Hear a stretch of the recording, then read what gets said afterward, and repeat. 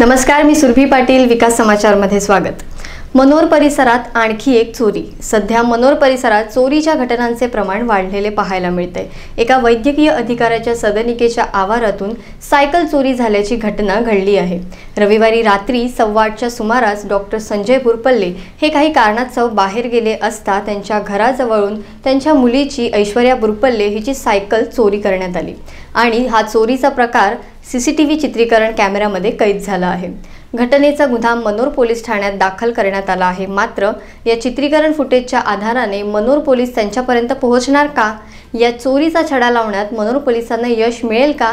याकडे सर्वांचं लक्ष लागलं आहे. यापूर्वीही मनोर पालघर रस्त्यावर उभी असलेली इको कारचे चारही टायर्स चोरीला गेले होते. तर टेन नाका येथे एका दुकानात तर मनोर बाजारपेठेत दोन दुकानात चोरी घडल्याची घटना घडली आहे. या सर्व प्रकारामुळे नागरिकांमध्ये भीतीचं वातावरण निर्माण झालं आहे.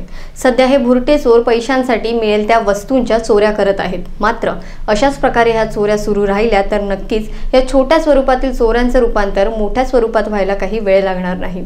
तरी मनोर पोलिसांनी या घटनांकडे तातडीने लक्ष देऊन आरोपींचा शोध घ्यावा. पहा विकास समाचार ध्यास ग्रामीण विकासाचा.